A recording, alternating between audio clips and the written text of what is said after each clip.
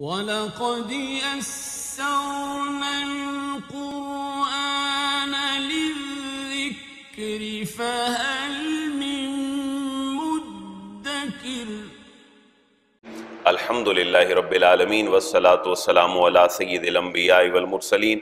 اما بعد، فاعوذ باللہ من الشیطان الرجیم، بسم اللہ الرحمن الرحیم.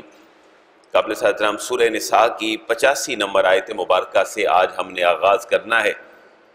اور ایک موضوع ہے تسلسل کے ساتھ آج کی آیات مبارکہ میں، جو اکانوے نمبر آیت مبارکہ نائنٹی ون نمبر آیت مبارکہ تک جاتا ہے۔ کوشش کریں گے آج وہ مکمل ہو۔ بسم اللہ الرحمن الرحیم۔ من یشفع شفاعتا حسنتا حسنتا یکل له نصیب منها ومن یشفع شفاعتا سیئتا یکل له کفل منها وکان اللہ علا کل شیء مقیتا، صدق اللہ العظیم۔ اس سے پہلے موضوع منافقین کا چل رہا ہے۔ بڑے تسلسل کے ساتھ بہت ساری آیات مبارکہ منافقین کے نفاق پہ گزری ہیں۔ منافق اس شخص کو کہا جاتا ہے جس کا ظاہر اور ہو اور باطن اور ہو۔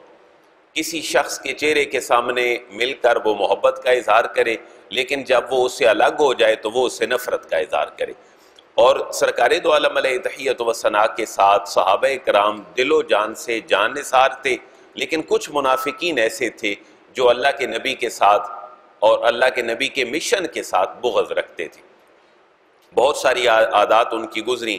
اللہ ایک اصول بیان فرما رہا ہے، جو میرے اور آپ کے لیے بھی ہے اور اس زمانے کے منافقین کے لیے بھی ہے اور صحابہ اکرام کے لیے بھی ہے۔ اور کہا یہ جا رہا ہے کہ اگر تم سفارش کرو گے شفاعت کرو گے اور ساتھ دو گے کسی اچھے معاملے کا، تو اللہ بھی تمہیں بہتر جزا دے گا۔ اگر تم سفارشی بنو گے اور ساتھ دو گے کسی غلط آدمی کا اور کسی ایسے مشن کا جو ٹھیک نہیں ہے، تو پھر یہ تمہارا معاملہ ٹھیک نہیں ہے۔ یہ منافقین کے لیے بھی تھا اور صحابہ کے لیے بھی تھا۔ صحابہ اچھے مشن کے سفارشی تھے اور وہ مشن تھا اسلام کی اور اطاعت رسول کی تشہیر۔ اور منافقین برے مشن کی تکمیل پر تھے۔ لہذا دونوں کے لیے اصول ہے اور میرے اور آپ کے لیے بھی بات ہے۔ من یشفا شفاعتا حسنا، من کا معنی، من من، مین کا معنی سے، من اسماء موصولہ میں سے ہے۔ من کا معنی جو یشفا شفاعت کرتا ہے، سفارش کرتا ہے، یا کرے گا، شفاعتا حسنا، اچھی سفارش۔ خیر کی بات کی سفارش جو بھی کرے گا، یکن لہو نصیب منہا، یکن ہوگا، لہو اس کے لیے نصیب منہا، اس میں سے حصہ اس کے لیے بھی ہوگا۔ دنیا میں بھی ہوگا اور وہ کیا ہوگا؟ دنیا کی سب سے بڑی دولت دل کا سکون ہے۔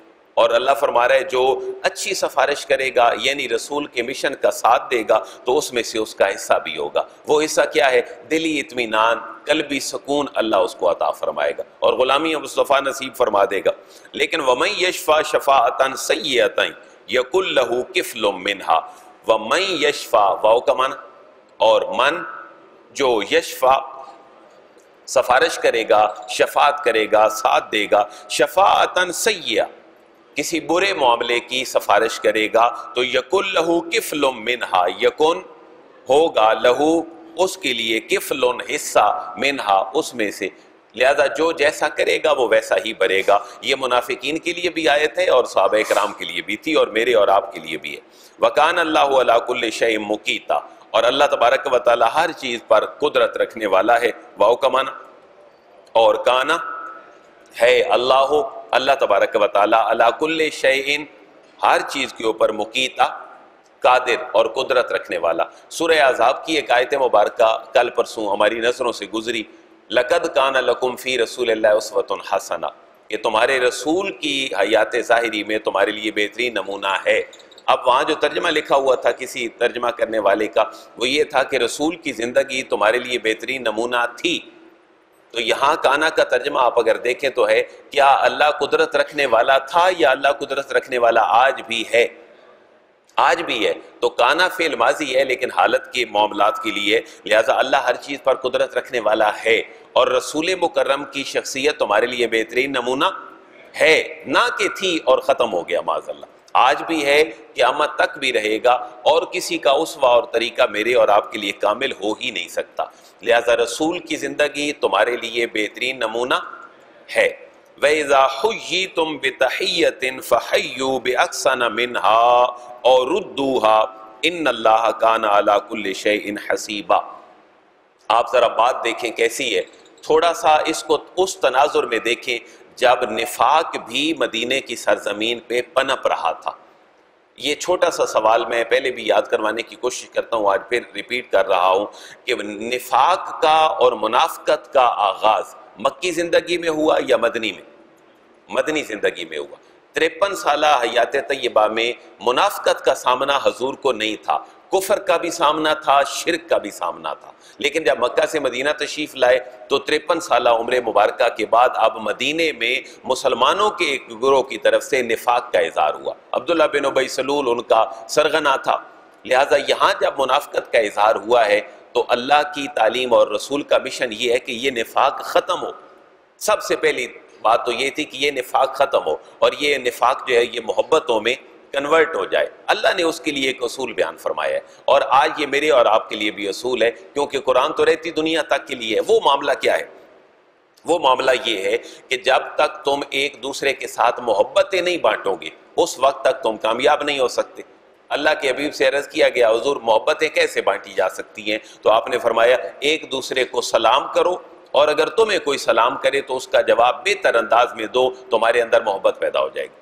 اور یہ محبت پھر تمہیں جنت میں لے کر چلی جائے گی۔ اب وہاں کے لیے بھی یہ نسخہ تھا اور آج کے لیے بھی یہ نسخہ ہے۔ آپ نفسیاتی طور پر کسی ان نون بندے کو سلام کر کے دیکھیں۔ اس کا ریئیکشن کیا ہوگا؟ بڑی محبت والا ریئیکشن ہوگا۔ وہ آپ پہ وہ جان نچھاور کرے گا کہ یہ بندہ مجھے سلام کر رہا ہے۔ تو یہ اسلام کا مابحل امتیاز ہے۔ اس نے محبتیں بانٹی ہیں۔ یہودیوں کے سلام کا طریقہ الگ تھا۔ عیسائیوں کے سلام کا طریقہ الگ تھا، کوئی یوں کر کے سلام کرتا تھا، کوئی اپنے کسی اور طریقے سے سلام کرتا تھا۔ لیکن اللہ اور اس کے رسول نے فرمایا کہ جو بھی سلام کا طریقہ تم اختیار کرو، اگر جواب بہتر طریقے سے ہو تو محبتیں بڑھیں گی۔ اس کا طریقہ اسلام نے کیا کہا؟ اسلام نے کہا، تمہارے سلام کا طریقہ ہے السلام علیکم۔ اور اس سے بہتر سلام کیا ہے؟ السلام علیکم ورحمت اللہ اس سے بہتر سلام کا طریقہ کیا ہے؟ السلام علیکم ورحمت اللہ وبرکاتہ لہذا فرمایا، جو تمہیں سلام کرے، بہتر انداز میں اس کو سلام کرو۔ ایک تو لفظی اعتبار سے اور ایک اپنی فیلنگز اور نچھاور ہونے کے اعتبار سے تم بہتر طریقے سے سلام کا جواب دو۔ اللہ تمہارے دلوں کے اندر محبت پیدا فرما دے۔ ترجمہ فرمائے ذرا۔ وَإِذَا حُيِّتُمْ بِتَحِيَّةٍ۔ واؤ کا معنی اور اذا کا معنی۔ جب ہوئی تم یہ ایکٹیو نہیں بلکہ پیسے ہے ہوئی تم جب تمہیں سلام کیا جائے بیسیکلی زندہ چیز کو کیا کہتے ہیں؟ ہائی اللہ تبارک و تعالیٰ کی صفات میں بھی یہ ہے کہ اللہ ہائی بھی ہے اور قیوم بھی ہے، وہ زندہ ہے اور زندہ جاوید ہے۔ تو ہائی زندگی کے لیے ہوتا ہے۔ سلام کے ساتھ کسی کو اچھی زندگی کی دعا دی جاتی ہے۔ اس لیے فرمایا، وَإِذَا حُيِّتُمْ جب تمہیں کسی لفظ سے سلام کیا جائے یعنی تمہاری درازی عمر کی کوئی تمہارے لیے دعا کرے بے کسی اچھے جملے کے ساتھ، سلام کرنے کے ساتھ، تو فحیو فا کا معنی پس حیو، تم تم بھی اس کی زندگی اور حیاتی کے لیے دعا کرو، اس کے سلام کو لوٹاؤ۔ کیسے؟ بے احسانہ منہا با کا ساتھ احسانہ منہا۔ اس سے بہتر الفاظ کے ساتھ تم سلام کو لوٹاؤ۔ اور ردوہا، اگر زیادہ نہیں کر سکتے تو کم از کم اس جیسا ہی لوٹا دو۔ اب، ان اللہ کان اللہ کل شین حسیبہ بے شک اللہ تبارک و تعالی ہر چیز کا حساب لینے والا ہے۔ اگر تم تھوڑے الفاظ کے ساتھ سلام کرو گے تو تھوڑا ثواب لکھا جائے گا۔ اگر زیادہ کے ساتھ کرو گے تو زیادہ لکھا جائے گا۔ لیکن اگر ایک باس ہے میرا اور آپ کا اور وہ غیر مسلم ہے کسی جگہ پر میں اور آپ ملازمت کرتے ہیں، وہ مجھے سلام کرتا ہے یا میں اس کو سلام کروں تو طریقہ کیا ہو؟ قرآن کے الفاظ سے معاملہ جھلک رہا ہے کہ تم اس کے بہتر طریقے سے جواب دو یا کم از کم اتنا لوٹا دو۔ اگر کوئی غیر مسلم ہو تو میرا اور آپ کا اس کو سلام کرنا نہیں بنتا۔ ہم اس کو سلام نہ کریں۔ اگر وہ ہمیں سلام کرتا ہے تو پھر اس کے سلام کا جواب کیا ہو؟ وعلیکم۔ وہ سلام کرتا ہے، السلام علیکم۔ اسی معاشرے میں رہتے ہوئے کہیں اس کی عادت بن گئی ہے کرنا، تو اس کے لیے کیا کہے وا علیکم بس اتنا کافی۔ ہے لہذا سلام میں پہل کرنے کا جو معاملہ ہے، یہ صرف اسلام سے متعلق ہے اور مسلمان کے ساتھ متعلق ہے۔ اس معاملے کو سخت نہ سمجھا جائے۔ آپ یوں سمجھیں کہ نماز کیا کافر کے اوپر فرض ہے؟ نماز کے فرض ہونے کے لیے پہلی شرط کیا ہے؟ مسلمان ہو۔ نمبر ٹو آکل ہو۔ نمبر تھری، بالغ ہو۔ روزہ رکھنے کے لیے بھی یہ شرط ہے۔ وہ مسلمان بھی ہو آکل بھی ہو۔ بالغ بھی ہو، تو سلام کا تعلق اسلام کے ساتھ ہے۔ کوئی ہیلو کہے، کوئی گڈ مارننگ کہے، کوئی کسی لیول پہ بھی ہو، یہ طریقہ اسلام نے سکھایا ہے اور مسلمانوں کو سکھایا ہے۔ لہذا یہ محبتیں بانٹنے کے لیے اس، ان معاملات کے لیے اگر کوئی غیر مسلم سلام کرے تو جواب کیا ہو؟ وعلیکم۔ لیکن اگر ایسا باس ہے کہ اپنی جاب کے جانے کا بھی خطرہ ہے تو اسلام وہاں پر سختی کی بات نہیں کرتا۔ آپ اگر اس کو پورا بھی سلام کر دیں، تو یہاں ایک ہڈن لی ایجنڈا بھی اسلام نے بیان کیا ہے کہ تم سلام کا جواب دے دو، لیکن اپنے فرشتوں کو سلام کے جواب کی نیت کر لو۔ وعلیکم السلام، یہ تمہارے فرشتوں کو جواب ہے، جو فرشتے اللہ کی مخلوق پھر رہے ہیں۔ اللہ لا الہ الا ہو، لیجمعنکم الى یوم القیامہ، لا ریب فی ومن اصدق من اللہ حدیثا یہاں بھی دو باتیں ہیں۔ ایک ہے منافقین کو خطاب اور ڈراوا اور دھمکی اور ایک ہے میرے اور آپ کے لیے مکمل اصول۔ یہ سورہ مبارکہ کا نام کیا ہے؟ سورہ نساء۔ آیات مبارکہ ٹوٹل ایک سو چھہتر اور اپنے مزاج کے اعتبار سے مدنی، نہ کہ مکی ہے۔ اب یہاں یہ بتلایا جا رہا ہے کہ منافقو، یہ تو سوچو کہ تم نے مرنا بھی ہے، اللہ کو جواب بھی دینا ہے، اللہ تمہیں اکٹھا بھی کرے گا۔ اور یہ بات کہ اللہ تمہیں مرنے کے بعد دوبارہ اٹھائے گا، اتنی سچی بات ہے کہ جس نے کی ہے، اس سے زیادہ سچ بولنے والا ہی کوئی نہیں ہے۔ لہذا منافقو، اللہ کے نبی کے ساتھ جو تمہارا دو پن ہے، اس کو چھوڑ دو اور مرنے کے بعد دوبارہ اٹھ کر اپنے جواب دینے کا بھی کچھ خوف کرو۔ یہ اصول ان کے لیے بھی ہے اور ہمارے لیے بھی ہے۔ اللہ لا الہ الا ہو، اللہ اللہ تبارک و تعالی۔ اور یہ اتنا بڑا اسماء جلالت میں سے ہے کہ آپ اللہ کے نام جتنے بھی لے لیں، الخالق، المالک، القدوس، السلام، المومن المحمن جتنے بھی نام پڑھ لیں، ہر نام کی اپنی فضیلت ہے۔ لیکن اگر آپ صرف اللہ کا ایک نام یہ پڑھ لیں تو سارے ناموں کی برکتیں اس ایک نام کے اندر جمع ہیں۔ اور وہ کیا ہے؟ اللہ، آپ اللہ بولیں گے اللہ کے تمام صفاتی نام اس کے اندر آ جائیں گے۔ اسی لیے بعض صوفیاء کے نزدیک اس میں اعظم اللہ ہے۔ لہذا وہ اللہ کا ورد کرتے ہیں اور اللہ نے جو ہمیں کلمہ سکھایا ہے کفر سے اسلام کی طرف کنورٹ ہونے کے لیے، وہ بھی کیا ہے؟ اللہ ہے۔ لا الہ الا اللہ، محمد الرسول اللہ۔ لہذا اللہ اللہ تبارک و تعالی وہ ہے۔ لا الہ، لا کا معنی نہیں۔ الہ، معبود اللہ سوائے ہو، اس کے اس کے علاوہ کوئی بھی معبود نہیں۔ اور اللہ کے نام کا یہ بھی امتیاز ہے، آپ اللہ کے نام کا ہر لفظ بھی گرا کر دیکھیں تو پھر بھی اس سے بنتا اللہ ہی۔ یعنی اللہ، الف، ڈبل لام اور ہے۔ یہ جو سیکوینس ہے الفاظ کا، آپ شروع سے لفظ گرانا شروع کر دیں تو پھر بھی مراد اللہ ہی رہے گا۔ مثلا یہ ہے اللہ، آپ اگر الف گرا دیں تو کیا بن جائے گا؟ للہ، پھر بھی اللہ کی ذات مراد ہے۔ آپ لام بھی گرا دیں تو کیا بچے گا؟ لہو پھر بھی اللہ مراد ہے، آپ لام بھی گرا دیں۔ تو پھر ہو بچے گا، تو ہو سے بھی مراد کون ہے؟ اللہ کی ذات ہے۔ لہذا یہ بہت قیمتی نام ہے اللہ کی اسماء میں سے۔ لَيَجْمَعَنَّكُمْ إِلَى يَوْمِ الْقِيَامَةِ میں نے عرض کیا تھا اور یہ قرآن کا موسٹلی اسلوب اور میتھڈ ہے کہ لام کس کے لیے آتا ہے؟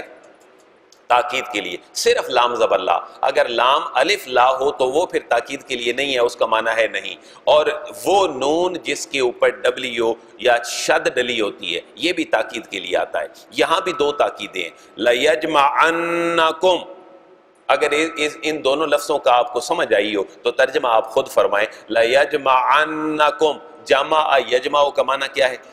جمع کرنا۔ لَيَجْمَعَنَّكُمْ وہ ضرور ضرور تمہیں جمع کرے گا، تمہیں اکٹھا کرے گا۔ الہ یوم القیامہ، قیامت کے دن۔ اور کون سا قیامت کا دن ہے؟ لا ریب فی۔ اس کے اندر کوئی شک نہیں ہے، لا کا معنی نہیں، ریب کا معنی شک فی ہے اس میں۔ اور یہ بات کس نے کی ہے؟ منافقو سن لو۔ ومن اصدق من اللہ حدیثا واو کا معنی اور۔ من یہاں پر استفام کے لیے انٹروگیٹو سینس کے لیے۔ ومن اصدقو کون ہے جو زیادہ سچی بات کرے؟ من اللہ اللہ سے زیادہ۔ حدیث کہتے ہیں بات کو اور گفتگو کو۔ ومن اصدق من اللہ حدیثہ کون ہے جو اللہ سے زیادہ سچی بات کرتا ہے؟ فمالکم فی المنافقین فئتین۔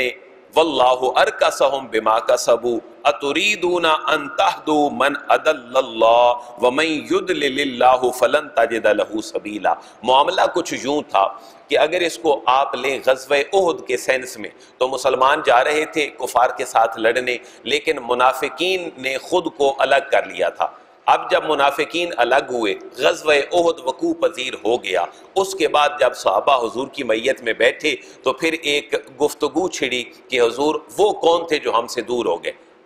کیا وہ منافق ہیں، کافر ہیں؟ ہمیں ان کے ساتھ بھی لڑنا چاہیے یا نہیں لڑنا چاہیے؟ لہذا یہ دو آراہ ہو گئی اور اس کو اگر براڈ سینس میں دیکھیں تو پھر یہ تھا، اللہ کی حبیب نے ہجرت فرمائی مکہ سے مدینہ طیبہ۔ اب مدینے کے اندر جو لوگ تھے وہ تو بن گئے مواخات مدینہ میں بھائی بھائی۔ لیکن جو مکے کے اندر تھے صحابہ کرام کا موقف یہ تھا کہ وہ ہمارے ساتھ ہیں یا اہل مکہ کے ساتھ ہیں؟ کلمہ گو بھی ہیں، کرتے کیا ہیں؟ اور جو مدینے میں مسلمان حضور کے ساتھ تھے، ان میں سے بھی کچھ لوگوں کی پراپرٹیز جائیدادیں اور مال اولاد وہ مکے کے اندر تھا۔ تو یہ مکے کے اندر چکر بھی لگاتے رہتے تھے۔ یہ تین سینس لکھے ہیں مفسرین نے ان آیات مبارکہ کے کہ وہ منافقین جو غزوہ عہد میں الگ ہوئے، ان کے بارے میں اب کیا فیصلہ ہونا چاہیے؟ اور جو مکے کے اندر ہیں مسلمان، وہ مکے والوں کو چھوڑ نہیں رہے کبھی کبھی ان کے مشن میں شریک بھی ہو جاتے ہیں اور مسلمان تو مدینے میں ہیں، ان کا حکم کیا ہے؟ اور تیسرا شان نزول ہے، مدینے کے اندر جو منافقین ہیں،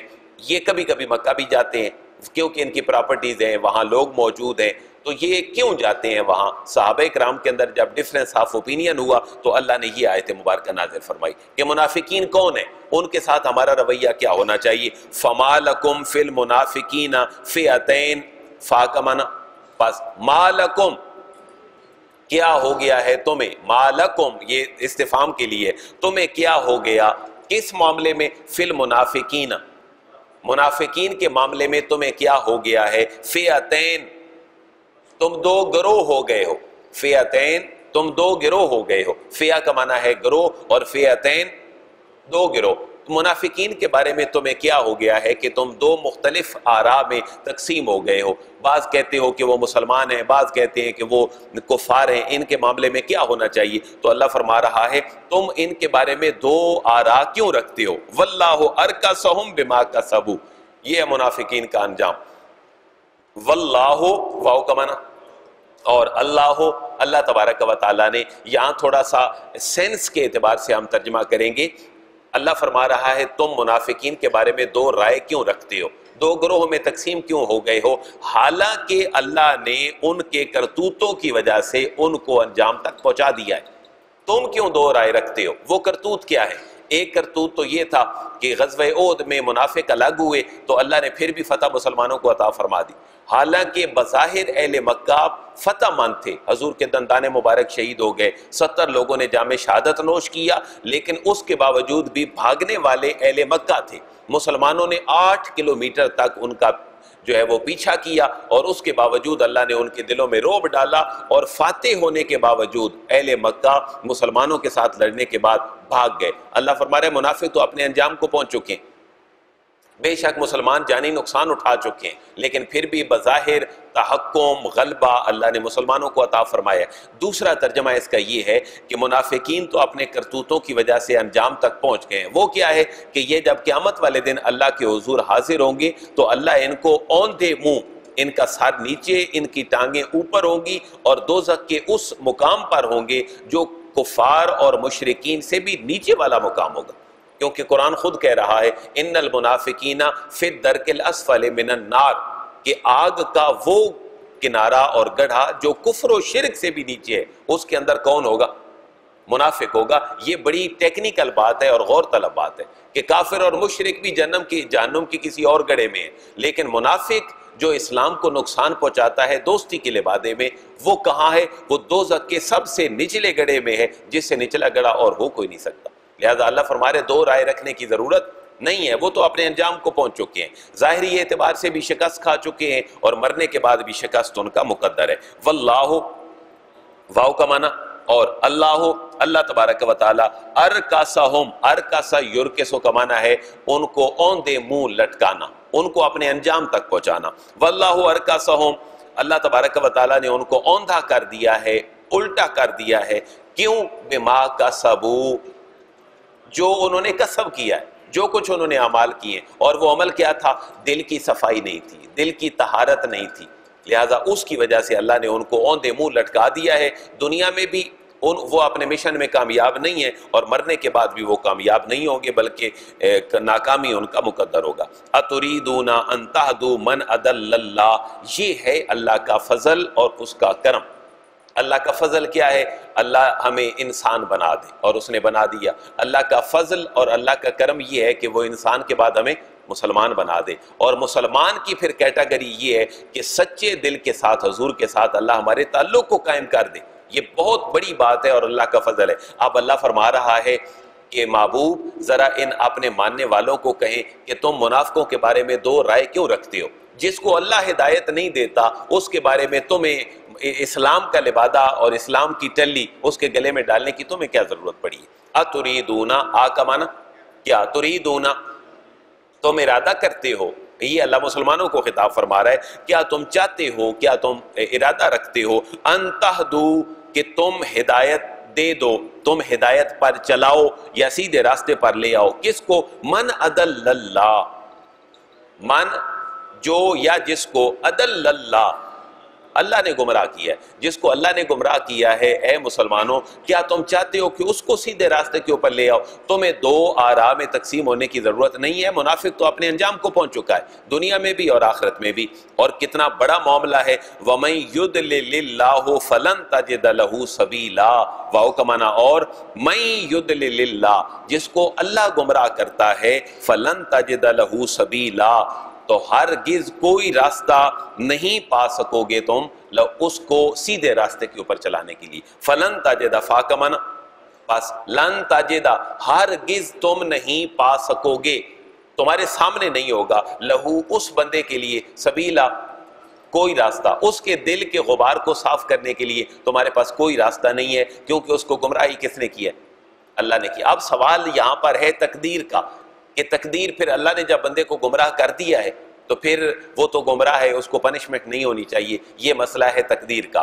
لیکن ایک بات ذہن میں رکھیں، ہر فعل کا اور ہر کام کا موجد حقیقی اس کو پیدا کرنے والی ذات کس کی ہے؟ اللہ کی ہے۔ یہ تقدیر کا پہلا مسئلہ ہے۔ ہمارا ہر معاملہ اور پوری کائنات کے ہر فعل کا خالق کون ہے؟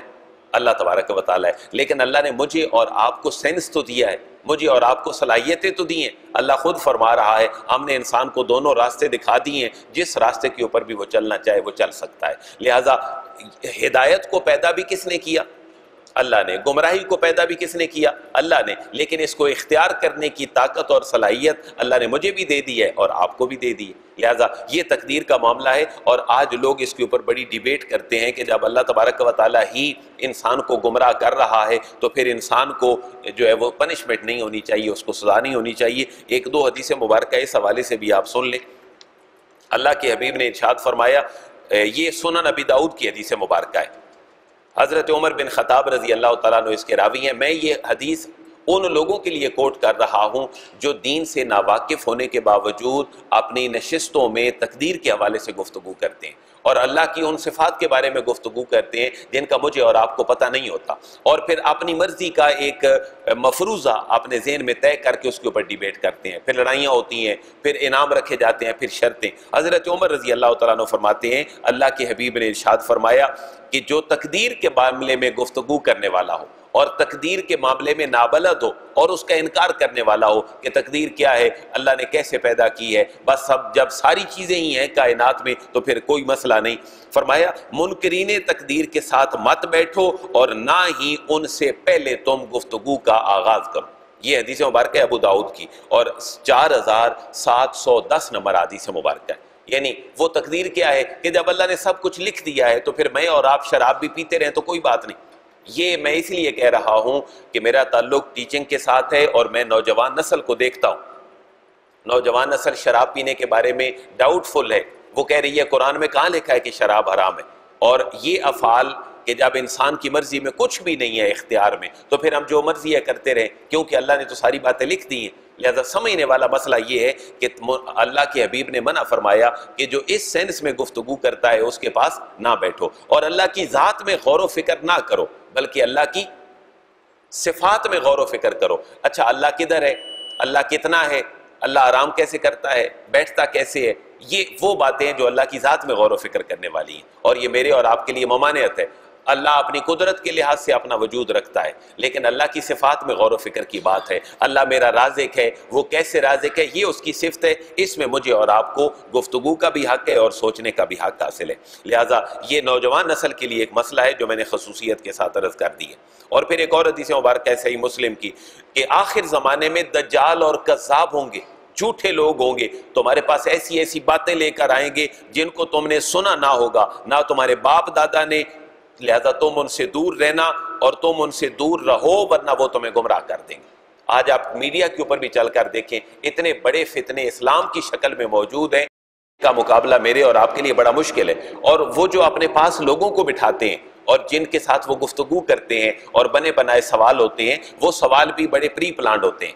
اور پھر انہی کا جواب جس کے ساتھ امت جو ہے وہ بے عملی کا شکار ہو جاتی ہے، میں ایک دو باتیں عرض کرتا ہوں۔ رمضان میں سوشل میڈیا پہ ایک بڑی جنگ جاری رہی۔ بھائی، تراویح کیا ہوتی ہے؟ تراویح کا لفظ نہ قرآن میں موجود ہے، نہ ذخیرہ حادیث میں موجود ہے، لہذا تراویح کا کوئی کنسیپٹ ہے ہی نہیں۔ اور اگر ایک طالب علم اپنی سٹڈی کر رہا ہے اور وہ بڑی مشکل میں ہے، گرمی کا موسم ہے تو وہ روزے چھوڑ سکتا ہے۔ یہ فلیکسیبلٹیز اور یہ ساری باتیں جو ہیں وہ اس عمل سے دور کرنے والی ہیں۔ جو لوگ بیس رکت تراویح پڑھ رہے ہیں یا آٹھ پڑھ رہے ہیں، کیا وہ اچھا عمل کر رہے ہیں یا نہیں کر رہے؟ ہیں اور یہ اچھا عمل تسلسل کے ساتھ چودہ صدیوں میں علماء نے فقہا نے ہمارے سامنے رکھا۔ اب ایک بندہ آٹھ یا بیس پڑھ رہا ہے، لیکن ایک بندہ کہہ رہا ہے کہ تراویح کا کنسیپٹ ہی کوئی نہیں ہے اور یہ تحجد کی نماز ہے جو حضور آخر شب میں پڑھا کرتے تھے۔ اور یہ بعد میں حضرت عمر نے اس کو بیس رکعت تراویح بنا دیا۔ لہذا تراویح جو ہے وہ اپنا اتھینٹسٹی کوئی نہیں رکھتی۔ تو مجھے بتائیں کہ کیا پڑھنا افضل ہے یا ڈیبیٹ کر کے ڈاؤٹ فل بنانا افضل ہے؟ پڑھنا افضل ہے؟ اللہ کی بارگاہ میں وہ سر تو اپنا جھکا رہا ہے۔ وہ کیا سمجھ کے جھکا رہا ہے کہ یہ فرض نہیں ہے، بلکہ یہ کیا ہے؟ سنت ہیں اور نفل کا درجہ رکھتی ہیں۔ تو یہ جو ڈیبیٹ ہے اسلام کے ان مسائل کے اوپر گفتگو کر کے لوگوں کو عمل سے دور کرنے کی اللہ ان کی طرف اس معاملے میں اشارہ فرما رہا ہے۔ فلن تجد لہو سبیلا، تو جن کو اللہ گمراہ کرتا ہے، ان کو پھر کوئی بھی سیدھا راستے کے اوپر نہیں لا سکتا۔ ودو لو تکفرون منافقین کیا چاہتے ہیں کہ میں اور آپ بھی کیسے بن جائیں؟ یہ بڑا ٹیکنیکل مسئلہ ہے۔ آج کے دور کا بھی اور صحابہ کرام اور رسول اللہ کے دور کا بھی۔ کہ نفاق ہوتا کیا ہے اور منافق چاہتا کیا ہے۔ آپ اگر یہ سمجھے کہ لا الہ اللہ تو ہم سارے پڑھتے ہیں۔ ہم اپنی بات کے ساتھ اپنے حکمرانوں کی بھی بات کریں تو محبت کی پیں گے تو ان کی کافروں کے ساتھ ہیں۔ محبت کی پینگیں ان کی کافروں کے ساتھ ہیں۔ سارے معاملات اور سارا کاروبار ابھی لوگوں کے نکل رہے ہیں۔ کاروبار کے اسرائیل تک بھی ہمارے حکمرانوں کے اور حکام بالا کے اپنے کاروبار ہیں۔ انڈیا تک کے ان کے کاروبار ہیں۔ مختلف ممالک میں ہیں، لیکن وہ اپنے مشن کے اوپر ہیں۔ آپ تھوڑی سی نظر دوڑائیں۔ میں کسی سیاسی جماعت کے اوپر تنقید نہیں کر رہا، لیکن تھوڑی سی نظر دوڑائیں کہ لادینیت، الہاد اور سیکولرزم کا ایجنڈا کیا ہمارے حکمرانوں کا ہے یا نہیں۔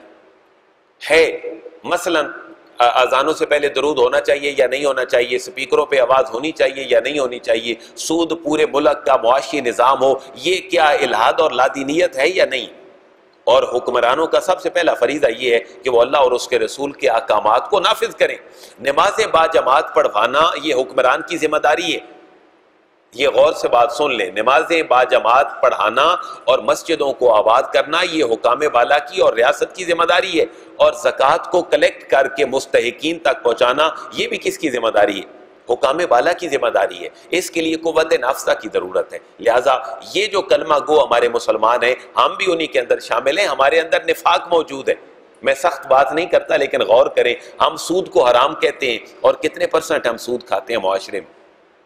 نائنٹی پلس پرسنٹ ہمارا معاشرہ سود کے اوپر مبنی ہے۔ ہم بے حیائی کو برا کہتے ہیں اور کہتے ہیں کہ بے حیا آدمی جو ہے نماز بے حیائی اور برائی سے روکتی ہے، لیکن ہمارے گھروں کے اندر سے ہمارے بیڈ روم سے بے حیائی اور برائی شروع ہوتی ہے۔ تو یہ نفاق ہے۔ ہم اس منافقت میں سارے شامل ہیں۔ اللہ ہمیں سچا مسلمان بننے کی توفیق نصیب فرمائے۔ یہ نفاق تو ہمارے گھروں سے شروع ہو چکا ہے۔ ہم محبت رسول کی بات کرتے ہیں، حضور کے ساتھ ہمارا تعلق کوئی نہیں۔ غلامی رسول میں موت بھی قبول ہے، لیکن حضور جیسی سنتیں ہمارے گھروں کے اندر نہیں ہیں، تو یہ کتنے بڑے ظلم کی بات ہے۔ اللہ ہمیں پکا مسلمان بننے کی توفیق نصیب فرمائے۔ وما علیہ اللہ